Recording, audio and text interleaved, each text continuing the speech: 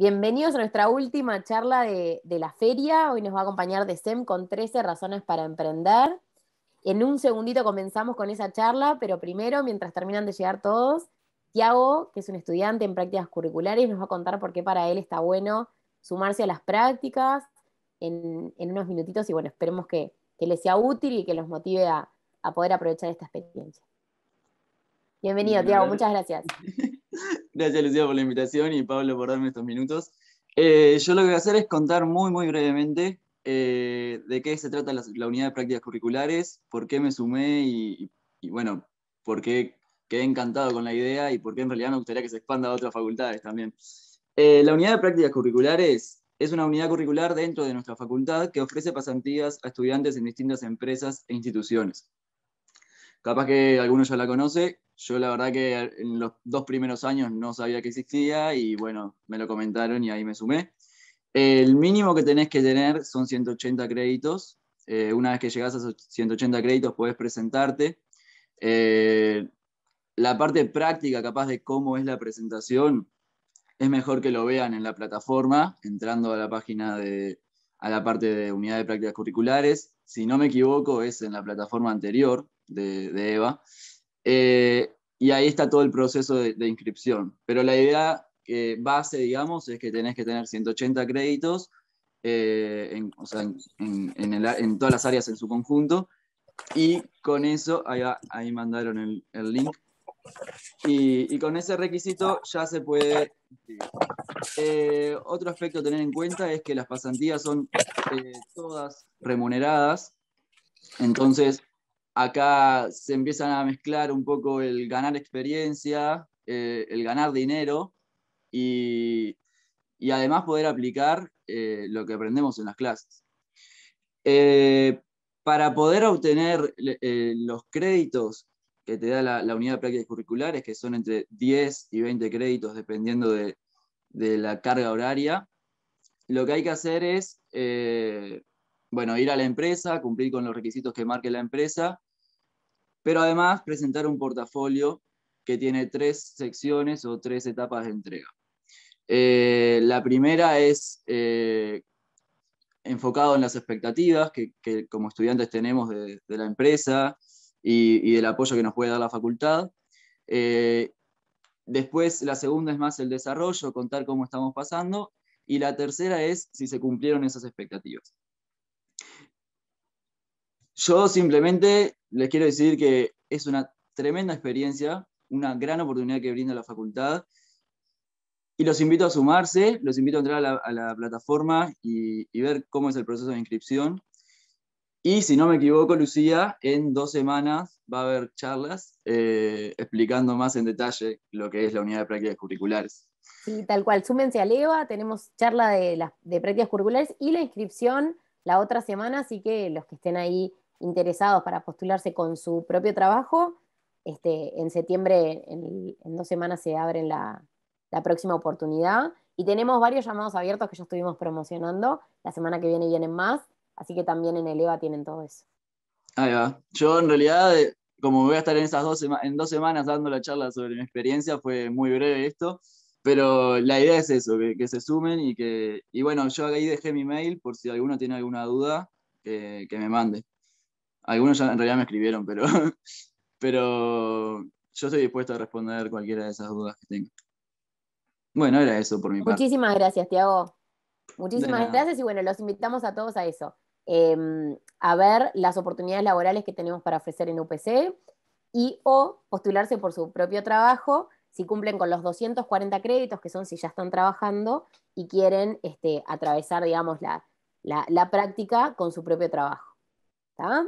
Bueno, y ahora sí, se vienen las 13 razones para emprender, que seguro nos vamos a ir todos con ideas de, cómo emprender con nuestra, con nuestra idea. Nos viene Pablo Marroche de DECEM. Bienvenido, Pablo, y muchas gracias por acompañarnos. Hola, hola, ¿cómo va a todos? Buenas tardes. Ya veo ahí algunos caras o nombres que estuvimos ayer en la, en la ronda, en la rotación, pero buenísimo poder volver hoy con, con un tema diferente.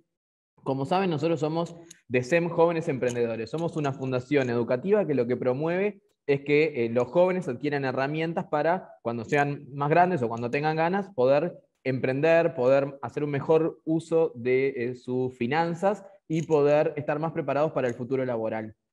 Y hoy justamente me, encantó esta invitación a, enfocar en el tema de emprendimiento, ¿no? porque cuando se habla en una feria laboral, uno como que directamente asocia con el tema de, bueno, conseguir trabajo, lo que se dice en línea, ¿no? Como conseguir trabajo dentro de una empresa, conseguir trabajo y yo ser un eh, empleado, digamos, ¿no? Pero esto de emprender de alguna manera como que plantea una lógica diferente, que es decir, bueno, me la juego por, por la mía, eh, genero un proyecto, genero un emprendimiento, puede ser algo que uno haga también como en paralelo, en algún momento, empezando, lo que fuera, pero me encantó ver cuáles eran esas, esas claves que puede tener el tema de emprender. Y le puse ahí el, el 13, justo cuando, cuando coincidió que eran 13 razones, dije, bueno, hice el gancho ahí con, con la, la serie de Netflix para hablar de estas 13 razones para emprender, que es lo que vamos a estar conversando hoy. Como les contamos, eh, nosotros hace 30 años que, estamos en Uruguay, somos parte de una red internacional que está en 115 países y que justamente lo que buscamos es esto, ¿no? que, más eh, niños, jóvenes se animen a emprender y se animen a vivir esa experiencia de aprender haciendo, que fue un poco de lo que hablamos ayer. Pero la primera pregunta como disparador sería esto, ¿no? Si emprendedor se nace o se hace, ¿no? Que es la típica de decir, bueno, yo lo tengo en mis genes, no sé qué, y la verdad es que si te pones a hablar Obviamente hay gente que tiene una personalidad que es más adversa al riesgo y eso probablemente lo pueda ayudar a de alguna manera querer tirarse más a la piscina, o uno lo ve con algunos emprendedores que le llaman los emprendedores seriales, que son esos como que fundan empresas, pero entran y salen porque eh, lo que les divierte es crearla, dejarla funcionando y después salirse o negociar o venderla o directamente dejársela al que tenga ganas, pero ellos dicen, no, yo necesito ponerme a hacer otra cosa. Eh, y eso obviamente es parte de, la fauna que está en el ecosistema emprendedor, pero en realidad la mayoría de la gente con la que vos hablás te dice, a ver, yo me preparé para esto y yo no soy el mismo emprendedor eh, ahora que hace 5 años, que hace 10 años, que hace 20 años, y yo fui aprendiendo de estos errores, y si vos escuchás a un montón de emprendedores, eh, generalmente no la pegaron de primera, ¿no? No es como que te cayó la manzana, la super idea, sino que obviamente fue este, un emprendimiento que falló, otro que falló, y a la tercera la, pegaste, ¿no? Este, y ahí uno puede escuchar desde ejemplos como Jeff Bezos de Amazon, o bueno, la historia propia de, Steve Jobs, ¿no? Eh, y, con millones de ejemplos también en, Uruguay, ¿no? Eh, entonces, esto como que es más que nada un, proceso, el, tema de emprender como si fuera un proceso creativo, un proceso de diseño, un proceso de lanzar un nuevo producto, o, bueno, para ustedes un, proceso de generar la, gestión de un área contable, digamos, ¿no? Pero en este caso, del tema de emprender, obviamente este, tenemos que partir muchas veces de, una idea, ¿no? Y en esto, eh, hoy en día ya se habla también que, sea una idea eh, que no sea que solamente se me ocurra a mí porque tengo ganas, sino que sea una idea que solucione un problema, una necesidad que haya en nuestra comunidad, ¿no? Por eso cuando hablamos también de herramientas que nos permiten empezar a emprender está todo esto del design thinking, ¿no? Esto del pensamiento de diseño y decir, bueno, ¿cómo empiezo yo a eh, elaborar un proyecto o elaborar un producto o un servicio, pero que solucione algún problema, ¿no? Porque este, había un ejemplo muy, muy bueno en el marketing que decía, ¿no? Que cuando la gente compra un taladro, no quiere el taladro, sino que quiere los agujeros que va a hacer ese taladro, ¿no? Y entonces en ese caso el tema de emprender es como que lo mismo, ¿no? O sea, la gente no dice yo quiero usar pedido ya, la gente dice yo quiero pedir comida sin salir de mi casa y que me llegue. Entonces, eso es un poco el, pensamiento. ¿Cuál es el problema que estoy solucionando? Obviamente yo tengo que evaluar, tengo que ver si eso funciona. En eso en el mundo emprendedor muchas veces se le llama validar la idea, ¿no? Esto de decir, bueno, después de que lo tengo, no es que me voy a tirar a decir, necesito un millón de dólares. Capaz que con 5 mil dólares, con tiempo, con esfuerzo, con dedicación, puedo decir, bueno, voy a validar esta idea en un eh, primer contexto. Incluso las empresas grandes lo hacen también. Por ejemplo, si Coca-Cola quiere lanzar un producto, no dice, lo voy a tirar a los 100 países en los que mejor me va. Dice, bueno, voy a arrancar en 5 o 6 países que sean los más parecidos para después explorarlo. Por eso muchas veces Uruguay, por ejemplo, es un, piloto para lanzar productos, porque dicen, bueno, es un país chico, es una eh, sociedad que tiene buen poder adquisitivo, es parecido a Brasil, es parecido a Argentina, lo que fuera, entonces dicen, bueno, vamos a invertir en Uruguay, en vez de lanzar un producto en Argentina para 40 millones o en Brasil para 300, dicen, vamos a lanzarlo en Uruguay para 3 millones. Entonces, esto de la evaluación es súper importante y en el mundo emprendedor se llama así, ¿no? Validación de la idea. Entonces, ¿por qué? Porque después que uno tiene la idea validada, que es haberla probado y demás, uno puede tener muchas más capacidades de poder convencer a alguien, por ejemplo, a un inversor eh, o poder postular a, fondos de, semilla, ¿no? Donde me digan, bueno, yo ahora que ya probaste con 5 mil dólares, te puedo dar 20 mil para que vos arriesgues y lo lleves a esto a un siguiente nivel, ¿no? Y si querés pedir 100 mil, todavía vas a tener que tener más datos y más información y más pruebas, ¿no? Entonces, esto de probar y después implantar para después consolidar, ¿no? Este sería como el, el proceso de generar un emprendimiento. Ahora, vamos a empezar a, ver también cuáles serían esas 13 razones que los pueden a ustedes acercar más al, mundo em, emprendedor eh, y por qué no es una cosa tan loca, ¿no? Como capaz que era antes, como viste, cuando uno decía, bueno, quiero ser actor, quiero ser bailarín, decían, ¿y de qué vas a vivir? Bueno, si vos decías antes quiero ser emprendedor, era, ah, bueno, es nube de humo, sos un chanta, ¿qué vas a hacer? ¿no? O sea, no, elegí, buscate un trabajo, elegiste una carrera. Bueno, esto de emprendedor puede ser también una, una vocación, es una actitud, eh, pero también puede ser tu, fuente de, vida, ¿no? Entonces, vamos a empezar a ver cuáles pueden ser esas razones. La primera es que obviamente hoy hay un mundo de muchísimas más oportunidades, ¿no? O sea, tenemos la posibilidad de, movernos, tenemos la posibilidad de ver lo que está pasando en otros países, tenemos la posibilidad de, probar, tenemos la posibilidad de utilizar las herramientas digitales, ¿no? O sea, el, mundo hoy tiene muchísimas más oportunidades y nosotros podemos estar este, no solamente desarrollando algo para Uruguay, sino también para otros países. Eh, podemos trabajar desde acá para otros lugares, o sea, como que el, el tema de las oportunidades hoy, la globalización, la tecnología, Internet, todo lo que tiene que ver con eso, creo que genera también como un germen ahí para que eh, haya cada vez más emprendedores, ¿no?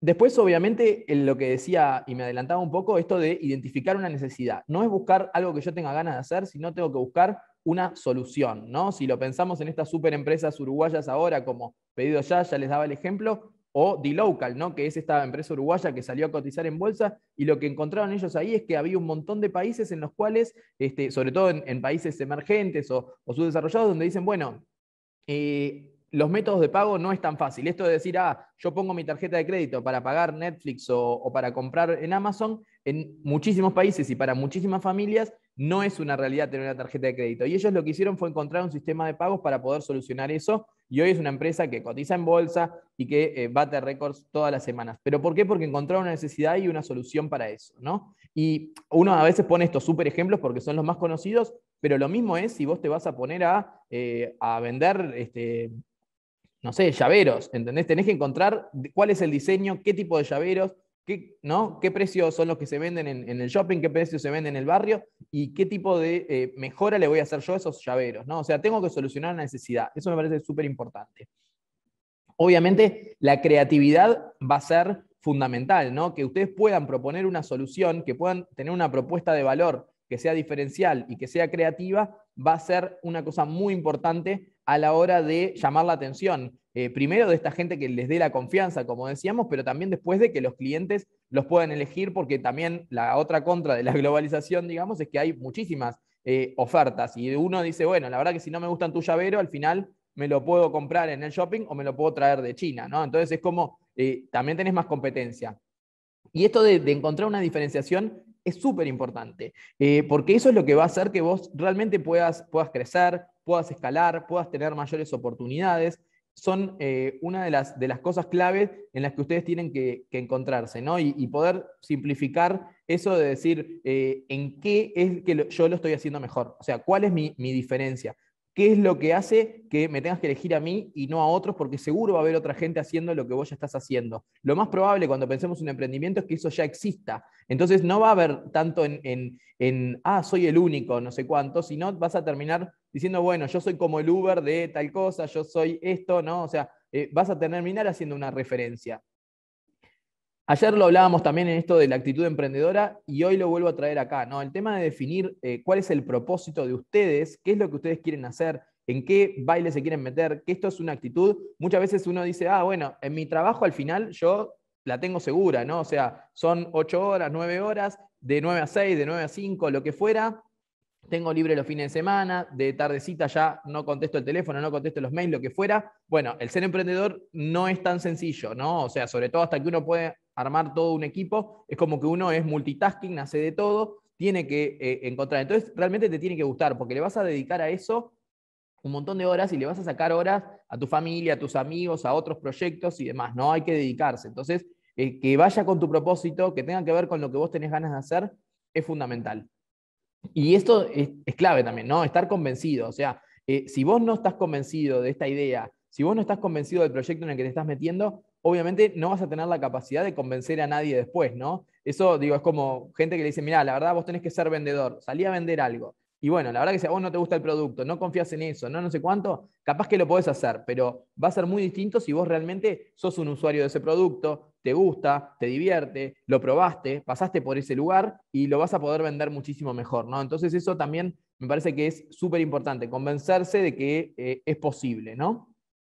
Y obviamente una, una cosa lo estamos enfocando en esto de, bueno, soy emprendedor, me largo solo, pero me largo solo, pero a construir un equipo, ¿no? O sea, lo, primero que tengo que hacer apenas pueda es empezar a ver con quién me rodeo y cómo me rodeo. Y esto de construir equipo me parece una cosa fundamental, súper importante, eh, sobre todo gente que sea complementaria contigo, ¿no? O sea, que sean buenos, que sean mejores que vos incluso en otros temas, ¿no? Con los que te puedas dividir tareas, con los que puedas este, confiar, por supuesto, ¿no?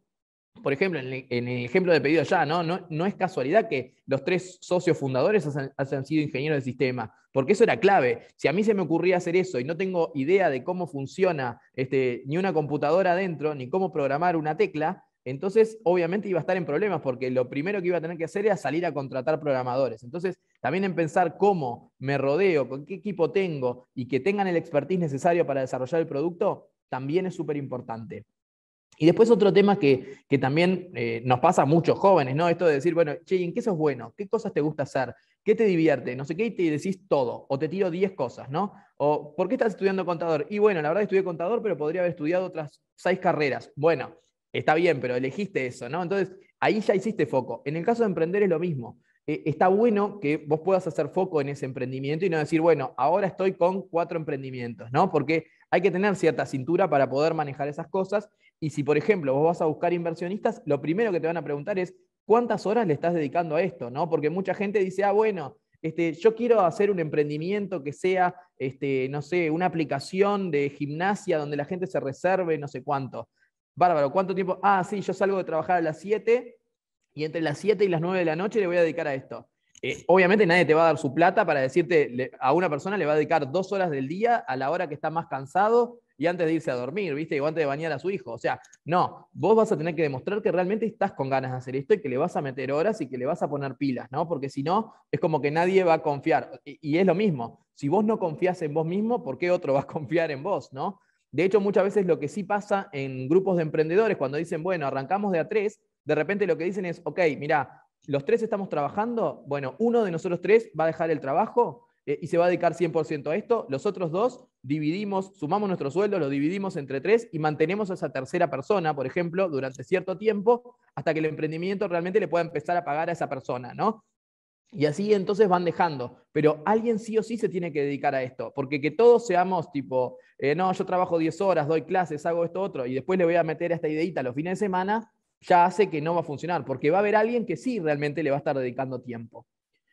Muy importante para ustedes también el agarrar la dinámica de tomar decisiones, ¿no? Eh, eh, cualquier rol de liderazgo termina siendo como manejar un Fórmula 1, ¿no? Esto de que vas a 300 kilómetros por hora, se viene la curva, tenés un montón de botones, hay gente que te está hablando por la cucaracha, el coso en el casco, y en definitiva el que va a tener que tomar la decisión sos vos, ¿no? Entonces, la realidad es que tenés que estar como eh, acostumbrado a, tomar decisiones y estar dispuesto a tomar decisiones. Y hay decisiones que son dolorosas y hay decisiones que son difíciles, ¿no? Y esto de decir, bueno, eh, por ejemplo, ¿hasta cuándo sigo con un emprendimiento si no, no está funcionando? Eh, ¿Hasta cuándo sigo con una persona si no está aportándole al equipo? ¿Hasta cuándo dejo de insistir con un cliente que quiero encontrar? ¿no? Entonces, todo ese tipo de cosas este, son decisiones que uno tiene que, estar eh, tomando todos los días. Obviamente la experiencia va haciendo que eh, uno se haga más experto justamente en tomar decisiones, que las cosas te empiecen a pesar menos, pero eh, hay que tener en cuenta sí o sí que el que está en el volante sos vos, ¿no? Entonces, eso es fundamental. Si lo piensan en el ejemplo, no a 300 por hora, pero manejando en la ciudad, es lo mismo. O sea, vos vas a 45, vas a 80, lo que fuera, pero vos sos el que lleva el volante. Y eso, en el caso del emprendedor, es súper importante. Como que en una empresa, salvo que seas el, dueño o el, gerente general, es como que siempre hay alguien, viste, al costado o alguien para mirar, tenés a tu jefe, tenés a... Acá sos vos. Entonces, eso también me parece que, hace a la cosa, ¿no? Te tiene que, empezar a divertir esto de tomar decisiones. Y después hay una cuestión de práctica, ¿no? O sea, eh, practicar, practicar, practicar. Todo sale mejor cuando uno lo practica y cuando uno lo ensaya.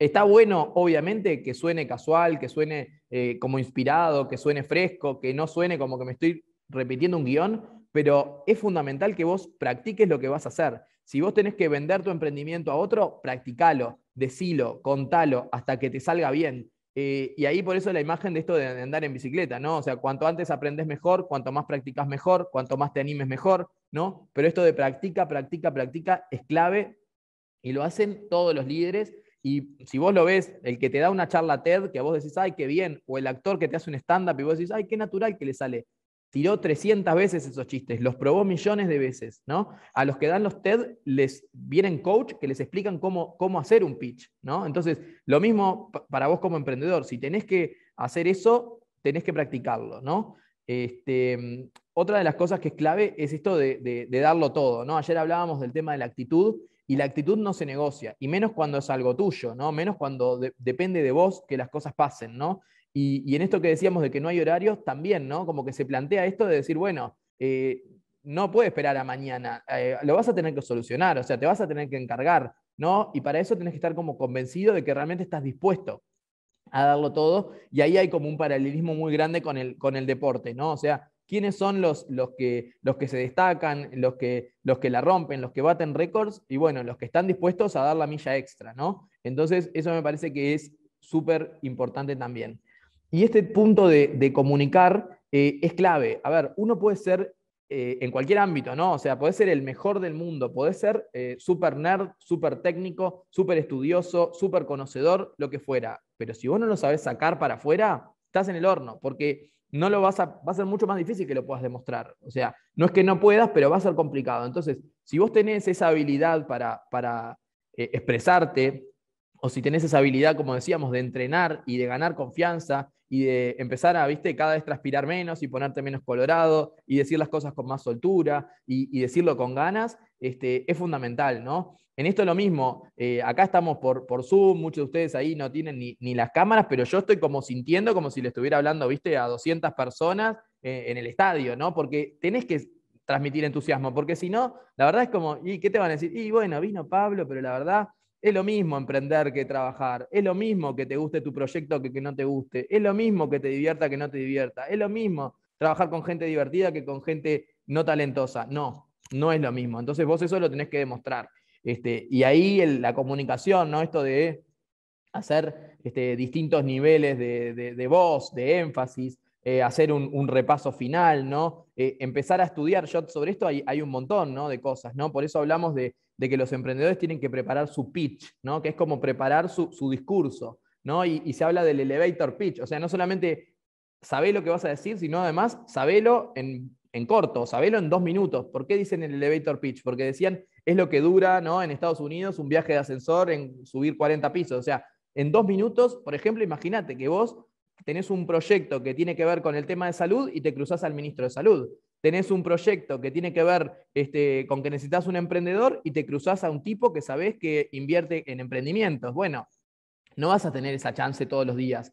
Entonces vas a tener que, eh, de alguna manera, tener muy claro qué es lo que le querés transmitir, qué es lo que necesitas, cómo se lo vas a decir, para que te dé la chance de generar una reunión, un Zoom, un encuentro con esa persona, ¿no? Eso entonces es súper importante. Lo decía hoy también con el ejemplo este, ¿no? O sea, si vos tenés un emprendimiento que es súper innovador, súper tecnológico, súper rupturista, eh, súper diferente, también tenés pensado cómo lo vas a explicar, porque la verdad es que pocos quieren emprender o jugarse su plata o lo que fuera en algo que es totalmente nuevo, porque puede fallar, digamos, ¿no? Ahora, si vos me decís, la verdad, Estoy haciendo el pedido ya de las farmacias, estoy haciendo el Uber de los helicópteros y bueno, ya me empiezo a imaginar, o sea, ya tengo una referencia de que algo funcionó en relación a eso, ¿no? Entonces, eso me parece que también es, es importante, ¿no? Este, imagínate, lo mismo pasó con todo esto de la pandemia, ¿no? Vos me decías, bueno, tenés que emprender en laboratorios o en temas de ciencia o lo que fuera, era chino, ¿no? Nadie quería. Bueno, ahora, eh, a partir de esto, todos empezamos a darle un poco más de atención. Eso me parece que es también eh, súper importante a la hora de la, de la comunicación. Y después, lo otro es que hoy en día, así como hay más oportunidades, todo está más conectado. Esta palabrita del ecosistema es como súper importante. Está el ecosistema educativo, todas las universidades, todos los centros de estudio están mucho más conectados. Está el ecosistema emprendedor. Hay 100 organizaciones en Uruguay que apoyan a los emprendedores. O sea, no, no es DECEM que empezó hace 30 años solito hablando en los liceos. No es este, Endeavor que está con los, con los super emprendedores. Hay 100 organizaciones. Entonces, obviamente hay espacio, hay lugar para todos hay eh, oportunidades para contactarse, pero uno tiene que empezar a meterse en esa red, tiene que lograr también entrar a ese ecosistema y empezar a conocer quiénes son los jugadores. Después te vas a ir dando cuenta también que muchas veces somos los mismos siempre en la foto, ¿no? Este, que hay gente que está hace muchísimos años en la vuelta, pero y, y empezar a conocerlo también es súper interesante. Entonces, aprovechar ese ecosistema.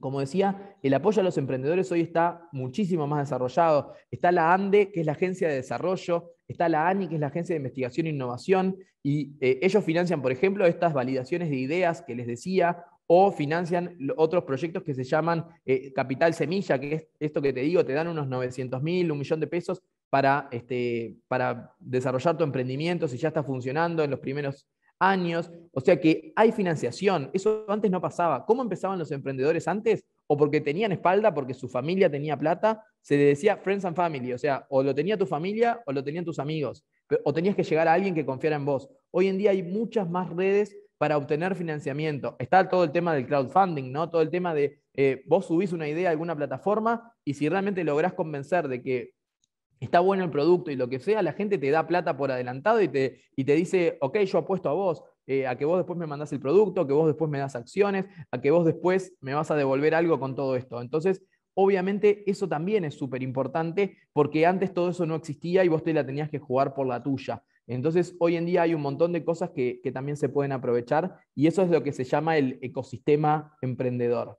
Entonces, para ir resumiendo y después poder charlar con preguntas y, intercambiar, ya sea por el chat o abriendo el micro, a ver, estas 13 razones, ¿no? Es el buscar las oportunidades. No solamente es decir existen, sino además las tengo que buscar. Tengo que tener ahí una actitud proactiva de identificar oportunidades y de identificar necesidades. No solamente lo que a mí me divierta, sino algo que le solucione la vida a alguien, algo que alguien necesite comprar o que necesite tenerlo.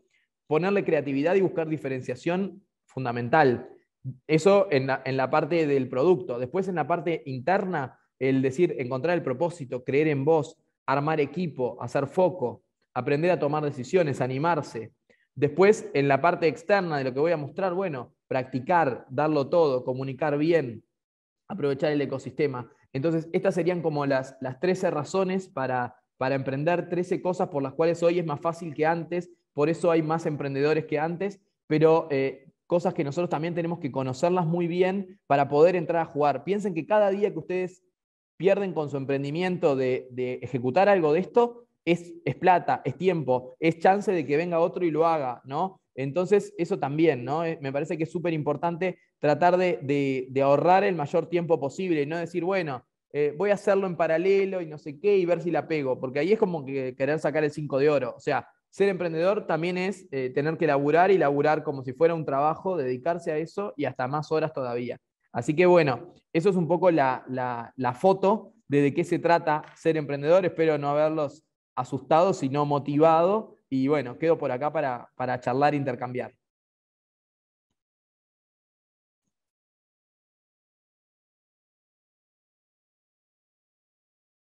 A ver si alguien ahí Estoy abriendo el chat por las dudas que alguien ponga algo. ¿Alguno con ganas de emprender una idea que quiera aprovechar de toda la expertise de Pablo? Buenazo, dice Miriam. Gracias, Hamilton. Excelente. Gracias, Franco. Yo me quedé con las 100 empresas que apoyan. ¿A nadie más le dio intriga? Nombranos algunas, Pablo, para, para sí, son, eh, eh, hay 100 organizaciones en el ecosistema, entre los cuales están, bueno, les decía, ¿no? Ahí se clasifican en, distintas categorías, los que están en, lo que se llama como el, desarrollo del espíritu emprendedor, digamos, o sea, todos los que hacen sensibilización emprendedora, después están los que apoyan en la etapa de incubación, ¿no? Entonces, eh, cuando yo ya tengo un emprendimiento, ¿quiénes me pueden ayudar? A ir a su incubadoras, las universidades. después hay toda una etapa de, de financiamiento, ¿no? Todos los que tienen eh, contactos con capitales, con inversores y que también, y después hay toda una etapa también que es la internacionalización, no todos los que están dispuestos a ayudarte a que tu emprendimiento explote, ya sea eh, vendiéndole a otros países o lo que fuera. Así que eh, ahí hay, una, página que se llama eh, el, Portal Emprendedor, que es la red de Uruguay Emprendedor, y ahí hay todo un mapa del ecosistema también.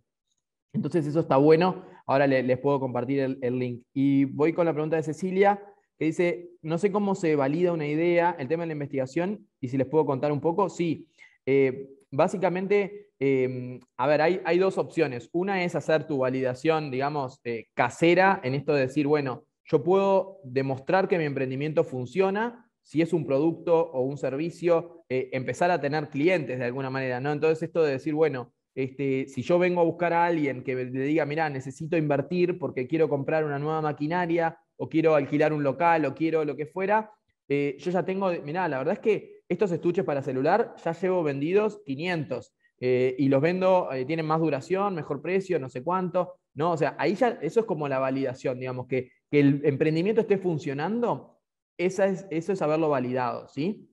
Seguramente la persona que vaya a invertir te va a empezar a hacer preguntas, que son esas preguntas como incómodas, y si además te pones a, a, escuchar, si vos hablas con tres personas que te vayan a invertir, te van a hacer preguntas muy similares, digamos, te van a preguntar por, por tu competencia, te van a preguntar por el precio, te van a preguntar por la calidad, te van a preguntar por la distribución, te van a preguntar por este, eh, eh, cuánto necesitas para crecer, te van a preguntar por cuánto tiempo le estás dedicando, ¿no? Todas estas cosas que les iba adelantando.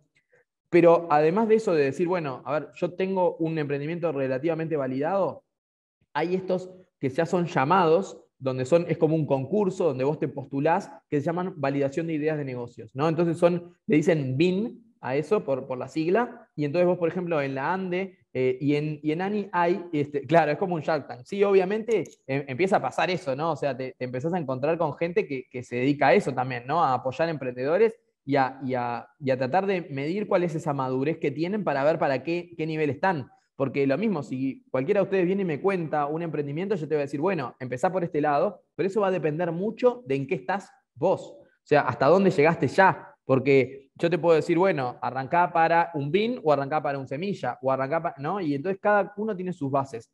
Este, exacto, la facultad tiene el centro de emprendimientos. Este, después incluso, por eso les hablo del ecosistema, porque para presentarse a las validaciones de ideas o a los capitales semillas, siempre tenés que ir con una de estas organizaciones, ¿no? que, eh, son las instituciones patrocinadoras, le llaman, ¿no? las instituciones de apoyo, y, eso para qué? Para que esas instituciones también se comprometan a darle también un acompañamiento al, emprendedor, eh, no solamente en el armado del formulario, sino después, si le aprueban esos fondos, en la gestión de esos fondos. ¿no? Y muchas veces eso viene acompañado de eh, tutorías, mentorías, ¿no? acompañamiento. Otra de las cosas clave que les diría es eso, ¿no? Siempre tratar de encontrar eh, su mentor, tratar de encontrar quién te puede apoyar, tratar de entender quién sabe más de lo que vos estás haciendo que vos. ¿está? Y muchas veces hasta puede ser este, ir a hablar con tu competencia, o sea, ir a hablar con el que vos estás identificando, eh, como, el, como el super líder, el super referente, porque muchas veces la gente tiene apertura para compartir eso, ¿no? Eh, y, obviamente, ¿por qué está bueno también vincularse con las organizaciones? Porque muchas veces uno dice, pa, la verdad es que yo no tengo acceso a la gerenta de esta empresa que produce, eh, es la UNO en producción de envase de plástico y yo quiero hacer plástico reciclado ok, muchas veces vincularte con estas organizaciones como, como DECEMI, como Endeavor y como otras, también, ¿no? Eh, y después, si no hay un gran referente, que está buena esa pregunta que dice Leonardo, eh, siempre hay alguien que pueda saber más que vos en temas de emprendimiento. Puede ser no, que no haya un gran referente en cuanto a ese producto, pero sí puede haber un gran referente en cuanto a ventas, en cuanto a... Vos lo que tenés que identificar es cuál es tu falla. O sea, ¿cuál es tu, talón de Aquiles? ¿Dónde está eh, tu, oportunidad de aprendizaje? Y ahí encontrar a quién puede ser. Entonces, si vos decís, mira, la verdad, no soy bueno haciendo presentaciones, busco a alguien que sepa hacer presentaciones. No soy bueno en ventas, busco un experto en ventas. No soy bueno en desarrollo de producto, creatividad, innovación, busco a alguien que esté especializado en eso, ¿no? Entonces, ahí es encontrar el referente, ¿no? Em, y eso muchas veces incluso me pasa a mí acá en, el equipo, yo que tengo un rol de, de dirección ejecutiva, o sea, es un rol este, de alguna manera soy como, como un, este, un gerente, digamos, de, una organización, eh, pero no tomo las decisiones solo. A ver, eh, por ejemplo, DECEM tiene un, directorio que tiene una presidenta, hablo con esa presidenta si tengo un tema que, me desborda, que se sale de lo habitual. estoy en una, en una red que también tiene una red de mentores, tengo mi mentor ahí, y también muchas veces, y es una ex gerenta de Coca-Cola, entonces ir a hablar con ella, preguntarle cosas, es tipo, che, esto me suena raro, ¿a vos qué te parece? ¿Qué me recomendás en esto? ¿no? Eh, la, presidenta de DESEM eh, es una socia de auditoría eh, y de impuestos en, en Price, es contadora y no sé cuánto. Y después, por ejemplo, es eso, ¿no? Nosotros cuando resolvemos problemas, también yo en, en nuestro directorio tenemos una cuestión medio variada. Entonces, por ejemplo, decís, bueno, hablo con si es un tema de legales, es un tema de contadores, es un tema de eh, investigación de mercado, es un tema de este, talento humano, es un tema de gente, es un tema de eh, permisos, autorizaciones. Entonces ahí es como con quién te empezás a rodear. Esa sería la, gran pregunta, digamos, ¿no? Bueno, y dice Cecilia que muchas veces no se encuentran las personas para hacer equipo. Eso es súper importante y, es, un, es, uno de los temas principales, ¿no? Porque uno a veces se asocia este, con alguien y después no logra, viste, como sincronizar las, las energías o la dedicación o la responsabilidad, y eso es súper importante también. Obviamente, eh, ahí la verdad es que hay, de todo, ¿no? O sea, tenés la opción de decir, bueno, me largo solo y a la gente que involucro, eh, que sea gente de mi confianza, pero la involucro en forma, ¿no? Como, como empleados, de alguna manera les, o les voy haciendo alguna paga o les prometo alguna retribución este, y demás y que se sumen, o me asocio pero poniendo las reglas claras, pensando que en algún momento me puedo separar. O sea, eso también como que es súper importante, ¿no? O sea, todos los papeleos o, cuestiones este, a la hora de asociarse también están importantes porque lo que te dicen también los que tienen empresas y que tienen socios es que muchas veces es eso, ¿no? Y hay un dicho ahí que dice, más vale ponerse eh, colorado al principio que morado al final. O sea, uno a veces son temas que los patea, pero que en realidad después te generan un problemón, ¿no? Si vos generas una sociedad con alguien y después eh, eso no funciona, el desarmar eso también genera, ¿no? Es como un, matrimonio o vivir en pareja, ¿viste? Que al final te quedan, ¿viste? Ay, yo te pago el Uber y quedo mi tarjeta asociada en tu pedido ya y la cuenta del auto y no sé cuánto y cuánto tiempo teníamos de alquiler. Bueno, desarmar una sociedad de un emprendimiento es eso todavía un poco más, más complejo, digamos, con, con números más grandes. Así que bueno, va por ahí. A ver si hay alguna, alguna pregunta más. ¿También se apoyan en servicios profesionales como el contador? Sí, sin duda.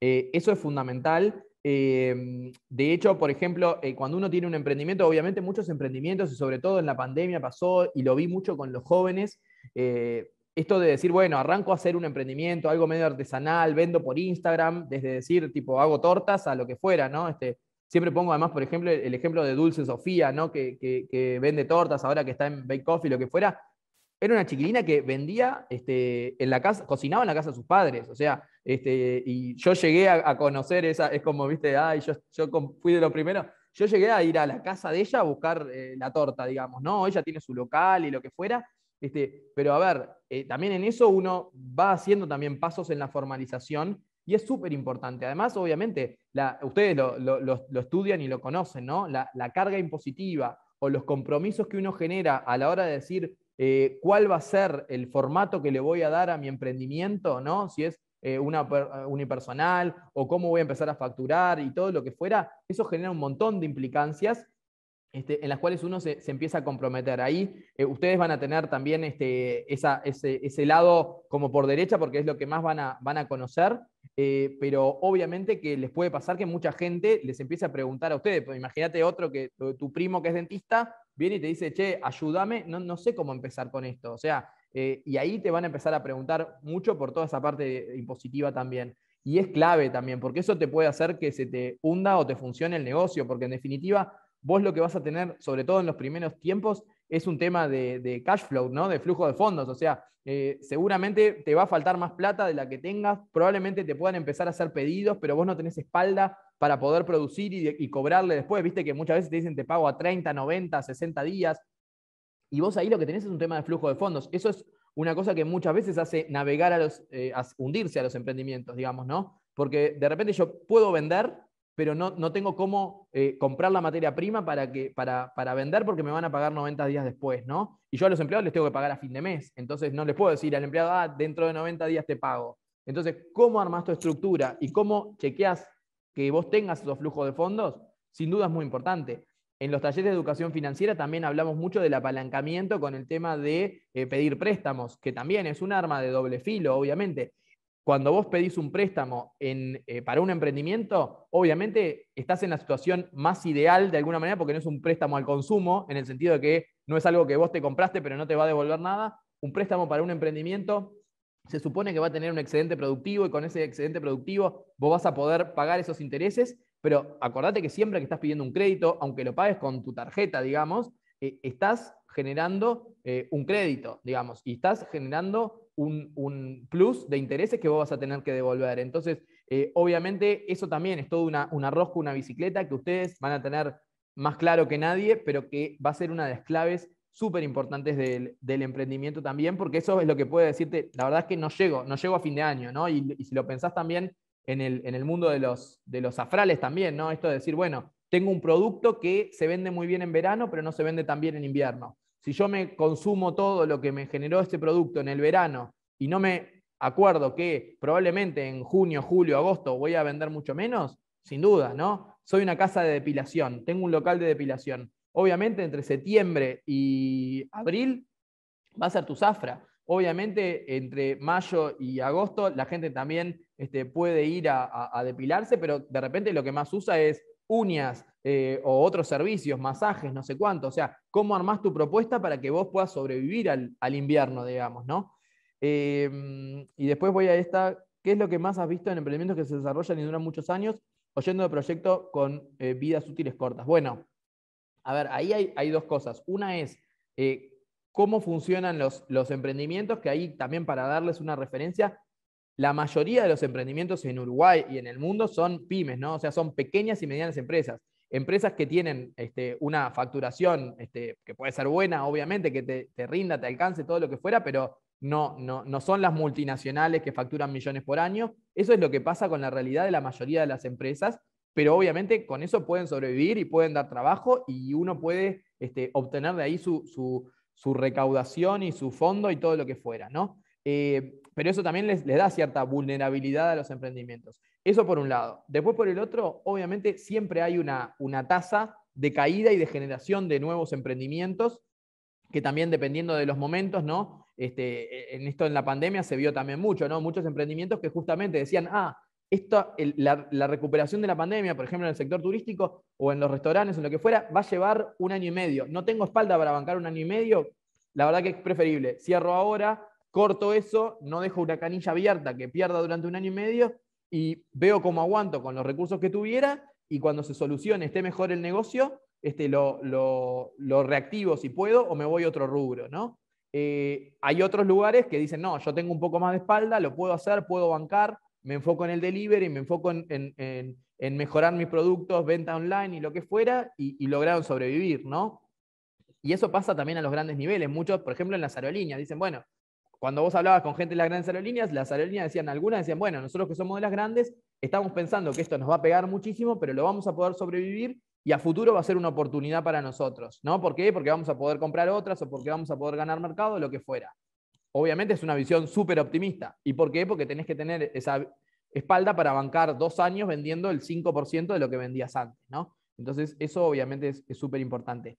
Y después, en cuanto a los emprendedores, ahí hay de todo, ¿no? Porque es como un poco lo que, lo que elijan. Yo ponía en el ejemplo eso de que muchas veces hay gente como que está todo el tiempo emprendiendo y todo el tiempo innovando y que lo que le gusta, como su adrenalina, es esa, ¿no? De decir, este, quiero estar siempre con algo nuevo, quiero estar siempre con algo que estén haciendo, ¿no?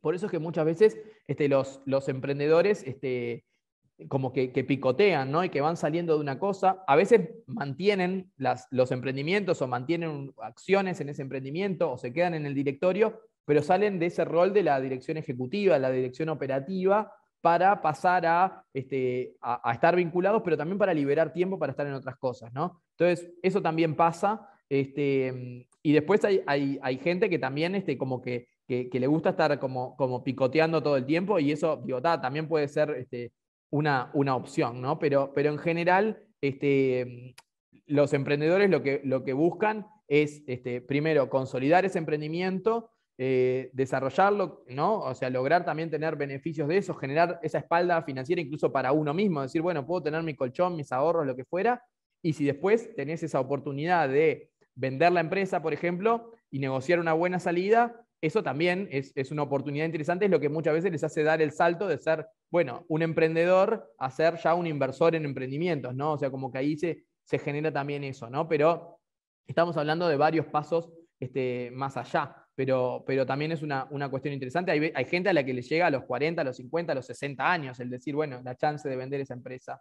Este, y algunos se arrepienten y otros no, digamos, o sea, puede pasar este, muchas cosas. Es como con los negocios familiares, también muchas veces pasa, ¿no? Cuando se van acabando las primeras generaciones, ¿no? Mi abuelo dejó, mi padre dejó. Yo la verdad que no tengo ganas de seguir con esto, no tengo ganas de tener el rol de gerente general, capaz que me siento cómodo en marketing o en finanzas, pero no me veo gerente general y llega esa conversación de decir, ¿qué hacemos con esto? La rifamos, la vendemos, ¿no? O sea, ¿qué hacemos con esta empresa, ¿no? Este, y bueno, de alguna manera eso también es una conversación que muchas veces este, pasa, pero, pero bueno, es como que hay que analizar en cada, en cada momento según los perfiles y quién esté y cuál sea la oportunidad también, ¿no? Porque hay veces que no es un buen momento para, para vender y entonces ahí también, y otras veces la pegás y, antes de una crisis o antes de lo que fuera y ahí te genera un, gran diferencial, ¿no? Piensen en todos los negocios que estaban allá arriba en 2019 y, y que ahora no están este, tan fuertes, o al revés, ¿no? O sea, si vos tenías un emprendimiento tecnológico y que esté funcionando bien, o algo que esté en el mundo de las ciencias, de repente está yéndole bárbaro, o no. Así que bueno, por ahí, por ahí va un poco la, cosa, ¿no? De medir los tiempos también. Bueno, ¿qué más? ¿Qué más? ¿Qué más podemos charlar? Hola Pablo. Hola. Hola a todos. Disculpen, pero el ministerio decidió que me tocaba la Pfizer en el medio de tu charla. Así que, eh, pero te seguí, te seguí con auriculares. Bueno, veo que te han preguntado un montón de cosas. Sacaste un montón de dudas. Ahí Iván. Iván te pone ejemplos de Zoom se despegó con la pandemia. Este, bueno, algunos que quedaron con ganas de. Tal cual, tal cual. O sea, recuerdo mi primera reunión Zoom y fue como, ¿eh? Y ahora es mi vida. los, temas de seguridad que habían al principio. Y ahí uno piensa cómo, además, hay otros que se deben estar queriendo matar, ¿no? Porque, por ejemplo, vos decís, bueno, Skype, ¿no? O Teams, que es de Microsoft. Imagínate el músculo que tenían, la espalda que tenían y, no lo pudieron desarrollar. Y de repente, a veces también, eso muchas veces pasa, ¿no? Por eso en los emprendimientos también a veces se generan eso que se llama como la spin-off, que es decir, bueno, vamos a crear una unidad externa que vaya separado de. Porque, claro, si vos decís, el negocio que Teams le podía aportar a Microsoft era nulo comparado con todos los servicios que vende Microsoft en la nube y no sé qué. Entonces la verdad es que nadie le dedicaba tiempo a desarrollar una buena plataforma. Lo mismo podía pasar con Skype, ¿no? con otras. Este, de repente este, llega Zoom, que solamente se dedicó a esto, lo hizo mucho mejor, mucho más rápido, creció impresionante y hoy es la, herramienta preferida, ¿no? Después están las otras empresas que, como decía, dicen, bueno, la verdad es que por temas de seguridad o lo que fuera, ponemos, pero, pero ese eso es un muy buen ejemplo de cómo también algunos este, gigantes eh, descuidan también algunas oportunidades, tenían todo para hacerlo, pero no lo habían desarrollado tan importante. Entonces, este, eso también es un, lindo ejemplo. Bueno, y Cecilia ahí te dice algo de que le genera mucha inseguridad el tema de los ingresos. Eh, entonces te habla como, te pregunta sobre estrategias. Lo principal ahí es el tema de eh, educación financiera, o sea, es el tema de, primero, tener bien separado lo que son tus ingresos personales y tu patrimonio personal del patrimonio del emprendimiento. Eso es fundamental y es el principal error este, que hace todo emprendedor que recién empieza, porque vos decís, bueno, tengo una sola cuenta de banco, entonces al final no sé si lo que tengo es mío o es del emprendimiento. Primer error, aunque sea en el mismo banco, o sea, decís, bueno, Itaú, dame dos, BBVA, dame una cuenta en pesos con tal número y otra segunda, y voy separando. Incluso en los talleres de educación financiera para emprendedores, una de las cosas que les decimos siempre es, si vos, además del emprendedor, sos el, el empleado, digamos, sos el que produce, sos el que vende, si vos trabajás para el emprendimiento, pagate como trabajador primero y después, a fin de mes o a fin de año o lo que fuera, ves los dividendos, ves si, si además tenés ganancias sobre ese emprendimiento. Porque muchas veces además el emprendedor dice, quiero reinvertir, necesito reinvertir porque necesito seguir comprando maquinaria, necesito seguir creciendo, necesito... Pero vos como emprendedor tenés que haber tenido tu sueldo y ese sueldo base con lo que yo les digo, ¿no? Para que vos te puedas dedicar. Y la gran forma de calcular eso, la mínima por lo menos, es el costo de oportunidad y es decir, bueno, ¿cuánto estaría ganando yo en otro lado por dedicar esta cantidad de horas a otro emprendimiento si otro me contratara y no fuera mi emprendimiento? O sea, vos tenés que tener tu propio sueldo como trabajador de tu emprendimiento y aparte, si a fin de año tenés este, dividendos, tenés margen, el resultado es positivo y no necesitas reinvertir, que vos puedas además este, tener una, ganancia extra como si fueras accionista del emprendimiento, ¿no?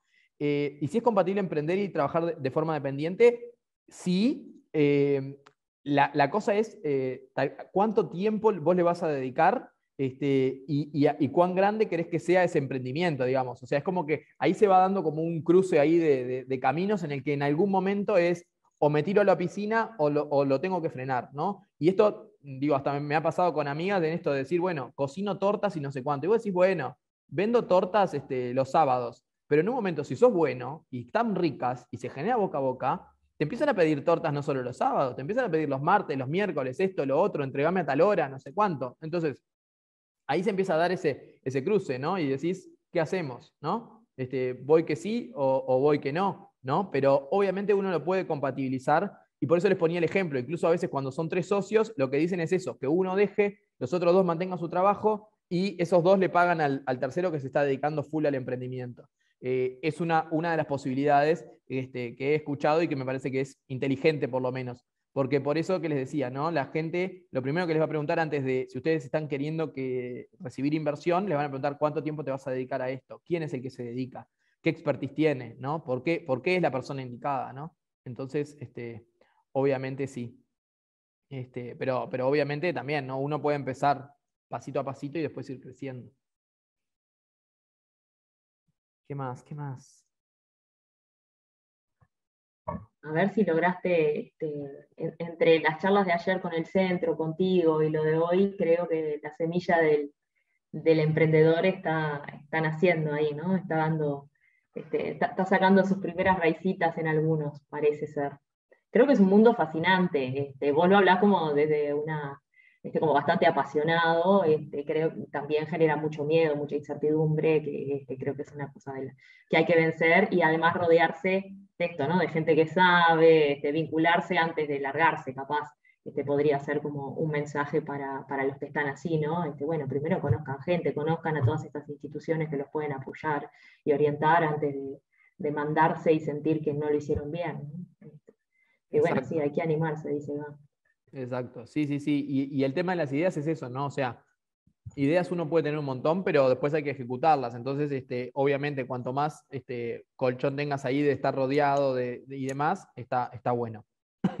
después, ¿es mejor terminar de estudiar antes de empezar a aprender? A ver, eh, está buenísimo terminar, terminar de estudiar y es fundamental porque eso te da también un, diferencial. Primero, este, te da un colchón, te, te, sirve para todo. En, en, cuanto a los, mucha gente sí hace esto de, por eso decíamos, ¿no? De cómo empiezan los emprendedores y dicen, bueno, antes de meterme, ¿no? Este, eh, nueve horas y no sé qué, y empezar, empiezo con un emprendimiento que sea mío y empiezo a generar cosas. O sea, ahí es como uno también tiene que conocerse y saber cómo puede este, regular las energías. Si yo realmente puedo manejar las dos cosas, ¿no? Este, y basta en cosas de la personalidad, ¿no? Si soy súper activo o si no, si soy como multitasking o si no, eh, si soy, eh, cómo vengo mi historial, ¿no? Soy comprometido o no con el estudio. yo lo que les diría es, a ver, obviamente aprovechen, terminen, y, una de las cosas que uno habla siempre con, la gente más grande, digamos, este, incluso también en, empresas, ¿no? O sea, es decir, eh, está buenísimo el, cuando sos joven poder aprovechar a, terminar esos estudios en esos momentos que tenés menos responsabilidades, porque después no solamente te llega todo esto, sino además estás conviviendo, tenés hijos, te, te empiezan a pasar otras cosas también, y en definitiva, a veces lo, tenés que terminar haciendo, o sea, vas a terminar la carrera o vas a ponerte a estudiar otra cosa y, le vas a tener que sacar tiempo a esas otras cosas. Entonces, obviamente, este, está buenísimo que le den prioridad al, poder estudiar y después, eh, por eso le decía, muchas veces esto de, empezar a emprender se da a veces en algo un poco más este, eh, casero, digamos, o una cuestión más de, empezar así con menos compromisos y después ir evaluando en, qué cosas me, me estoy metiendo también este, como para este, ver, bueno, en el momento que formalizo, qué implica eso, qué voy a tener que hacer, ¿no? Eh, decía Florencia sobre los talleres de educación financiera, si DECEM los da y en qué periodo, sí, este, en realidad casi que durante todo el año, pero este, les, voy a, les voy a compartir este, eh, también ahí la página como para que puedan este, verlos. Este, y sí, porque podemos, tenemos talleres de educación financiera que podemos hacerlos virtuales o, presenciales, o sea que podemos coordinar, incluso podemos coordinar algo este, eh, juntos, digamos, podemos hacer algo con, la facultad y si hay varios interesados, este, reservamos como, como una hora para eso.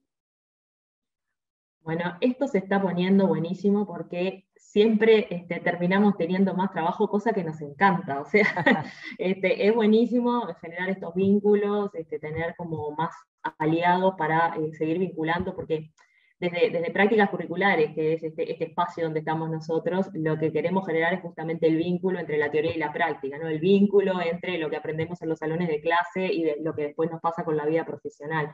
Eh, nosotros desde ya te decimos que sí, Pablo, así que ustedes lo que les, lo que les queda a los chiquilines es estar atentos cuando, porque lo vamos a hacer, lo vamos a hacer porque todo lo que sume este, va, siempre es bienvenido. Y si ustedes están dispuestos, después nada, compromiso. Vieron que Pablo habló del compromiso.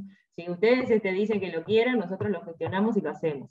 Eh, ahí va, esténse atentos. ¿sí? Genial. Ahí les pasé un, link también que tiene como para inscribirse a, distintos programas y ahí van a ver varias, varias cosas. Pero en esto del taller de educación financiera, perfecto. A ver, para darles un ejemplo, este, que también estuvimos haciendo vinculado con el tema de los emprendedores. Por ejemplo, la semana pasada estuvimos con los en, Enjoy, el hotel, este, que muchos empleados están en seguro de paro mientras está cerrado el hotel hasta esperar que vuelva la temporada turística, por ejemplo, alimentaron ahí como toda una red de emprendedores y empezaron a hacer sus pequeños emprendimientos y son unos 150. Eh, y entonces estuvimos viendo temas de educación financiera con ellos la semana pasada. O, por ejemplo, hicimos con la Asociación de Fotógrafos también, que eh, también, ¿no? Muchas veces es un rubro que, donde no todos son tan este, eh, prolijos a la hora de pensar en el presupuesto, no piensan en el tiempo, no piensan en el desgaste del costo de las máquinas, de un montón de cosas.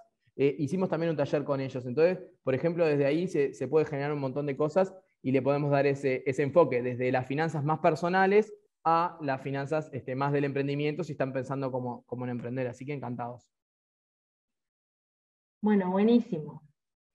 No, de 15 a 26 años este, será para algunos, Hamilton. No hay edad para emprender, ¿verdad, Pablo? Ah, no, para emprender sin duda que no. Eso depende por alguno de los programas, pero, pero este, no, si lo hacemos acá, lo, hacemos, lo hacemos. Este, lo hacemos para, mayor edad. Tenemos, por eso les decía, estos de, educación financiera los tenemos para, adultos, este, ya pensando en gente que, incluso, digo, tiene, vive en su propia casa, digamos, ¿no? Como que tiene también su, maneja su propio presupuesto eh, de repente con mayores compromisos que, bueno, cuando uno de repente tiene otros, otros costos cubiertos también ahí cuando todavía vive con sus padres y cuestiones.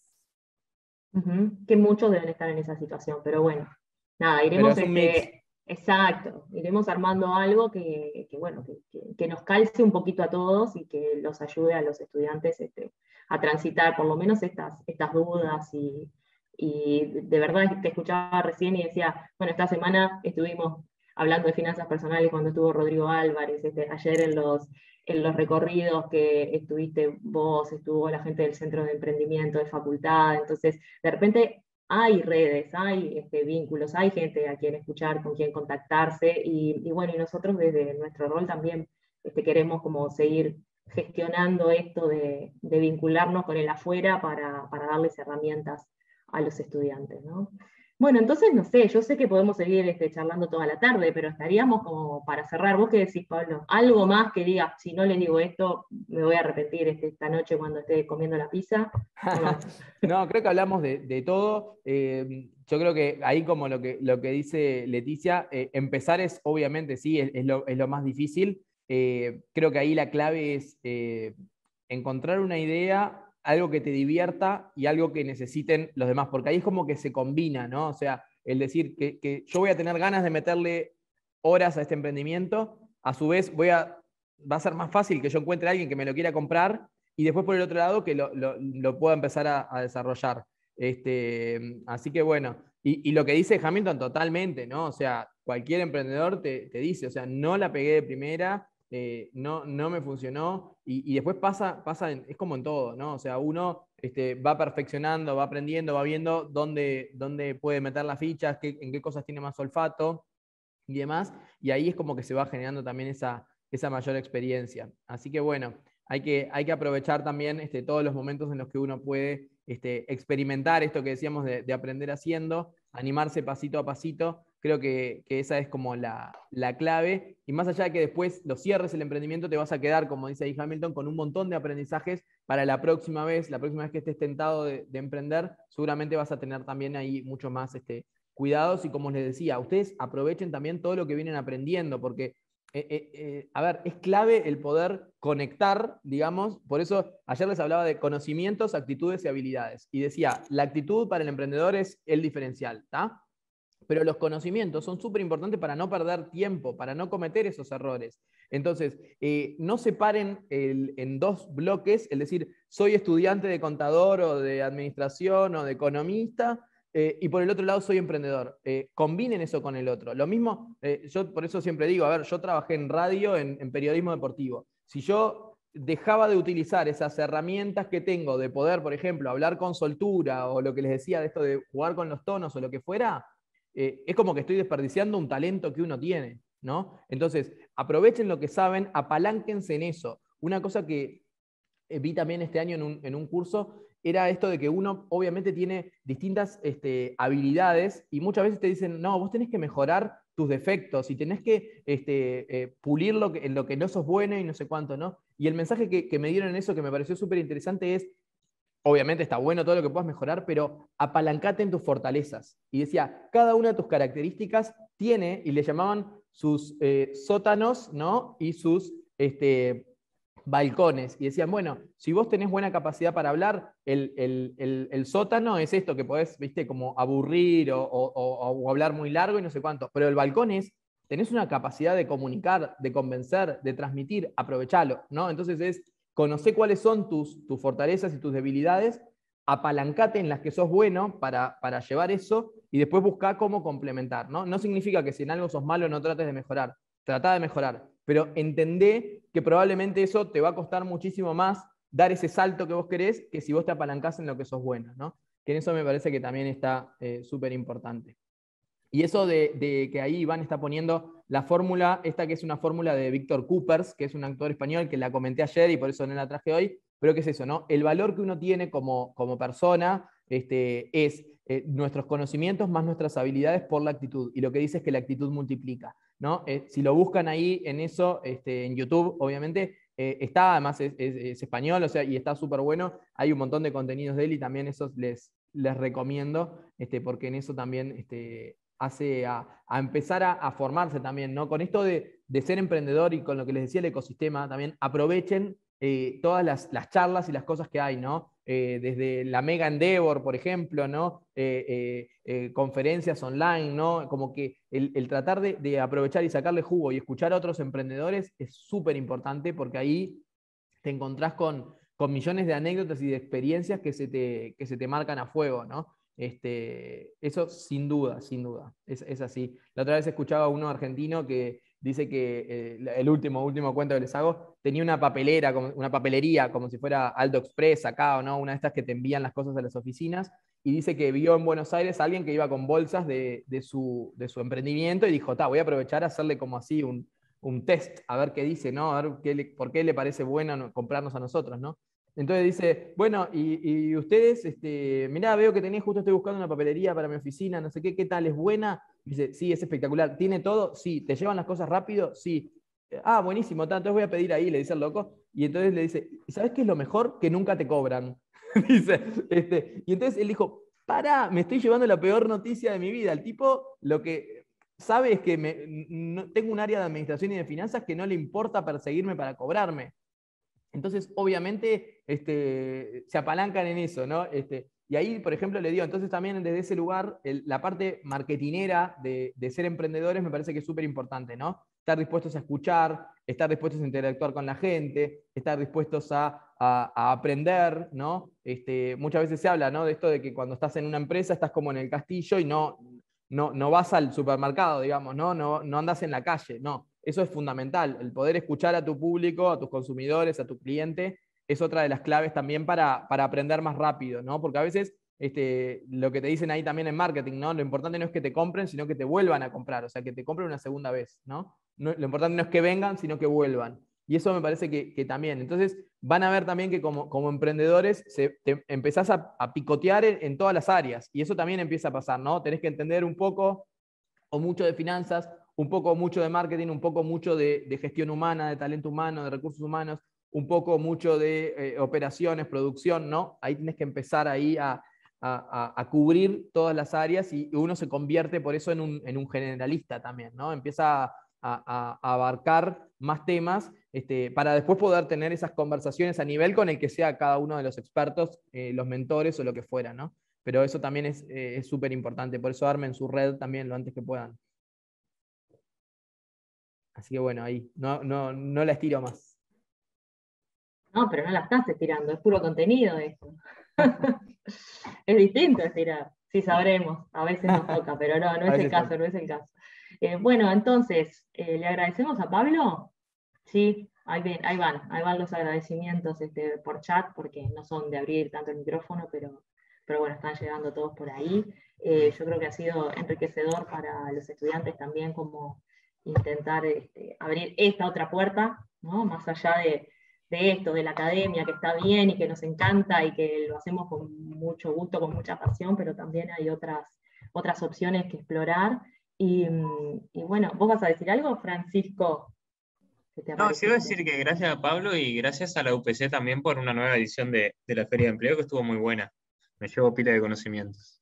Ah, bueno, ahí este, así te ponemos los corazoncitos. Como, este, muchísimas gracias por, los comentarios. Después, como les digo siempre, les vamos a hacer llegar tanto a las empresas como a los estudiantes eh, un formulario de evaluación para que nos digan qué cosas estuvieron bien, dónde ven oportunidad de mejora, este, porque, porque también eh, la idea es que, salgan lindas, que sean útiles y siempre decimos el único foco es que ustedes se vayan con este, mm, más información y, con mejores ideas de lo que es el mundo laboral. Entonces, ahí es, este, ahí es la apuesta. ¿sí?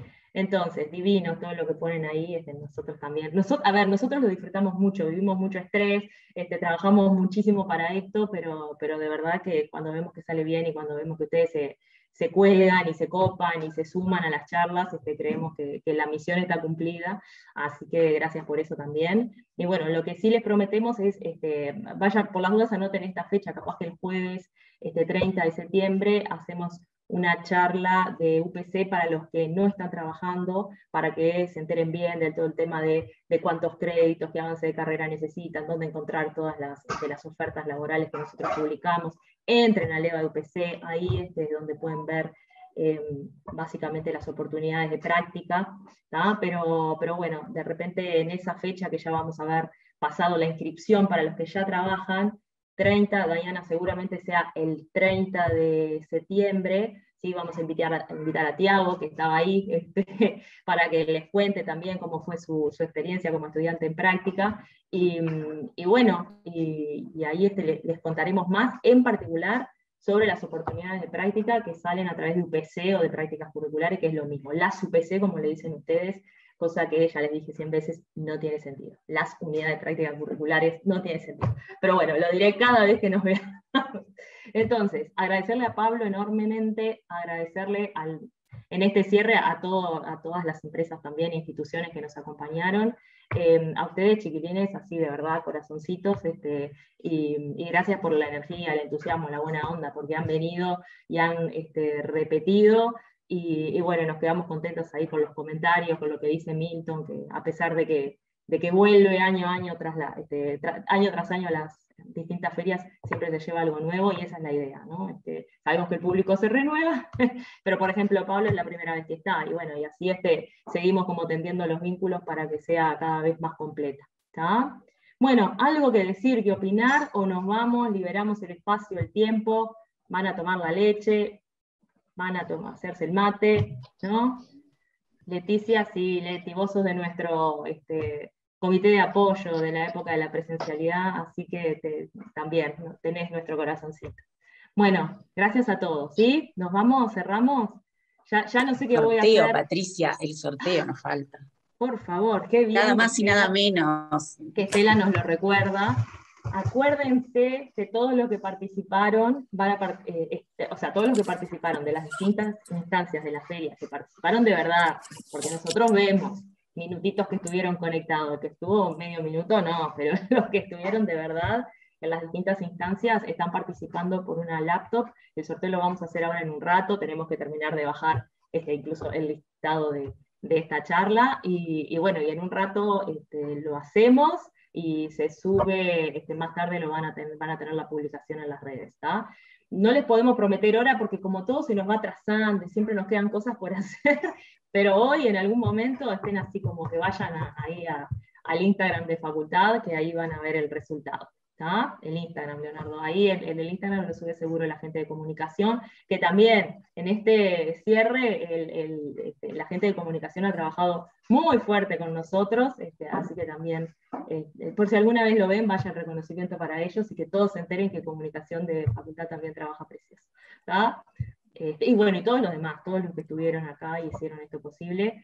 Pablo, te tocó este, comerte la, despedida de, la feria. Me encantó. Pero... Solamente ya sabía que no podía participar del sorteo, así que estoy en un momento ah, más para abajo ahora, pero no pasa nada, la, banco. Está, sí. Eh, inscribiste a facultad y de repente, capaz, a lo mejor, el año que viene como estudiante, podés participar. Me encantó. Dale, bueno, nos fuimos. Nos vemos. Muchas gracias a todos. Chao, gracias a todos. Semana. Chao, chao.